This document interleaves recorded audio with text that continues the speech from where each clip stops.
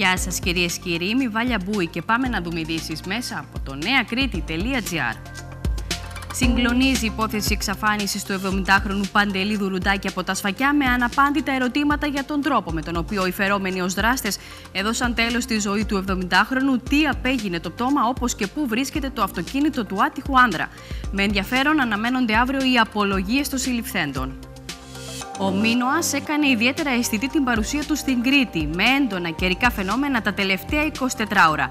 Ενδεικτικό της κατάστασης το γεγονός ότι σε διάστημα 4 μόλις ώρων έπεσαν περισσότεροι από 400 κεραυνοί στο νησί δηλητηρίαση από τον ήλιο ή ηλιακό έγκαυμα, ποια είναι η διαφορά ανάμεσά τους και ποια συμπτώματα πρέπει να μας ανησυχήσουν, μπείτε στο νεακρήτη.gr για να μάθετε πώς μπορούμε να την αποτρέψουμε και πώς να αντιμετωπίσουμε την δηλητηρίαση.